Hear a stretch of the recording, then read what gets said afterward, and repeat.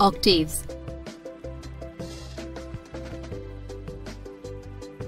Newlands, a British chemist, arranged all the known 56 elements in increasing order of their atomic masses and found that every eighth element had properties similar to that of the first as in case of the octaves of music.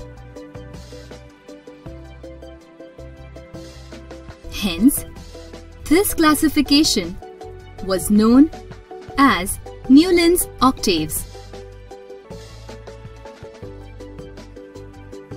Newland's law states that when the elements are arranged in an increasing order of their atomic masses, the properties of the eighth element are similar to the first.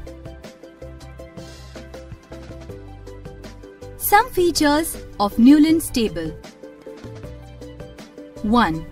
Newland's law of octaves was applicable only up to calcium out of total 56 elements known at that time. 2. After calcium, every eighth element did not possess properties similar to that of the first. 3. Newlands assumed that only 56 elements existed, but later several elements were discovered. 4. To fit the existing elements, Newlands placed two elements in the same position which differed in their properties. 5.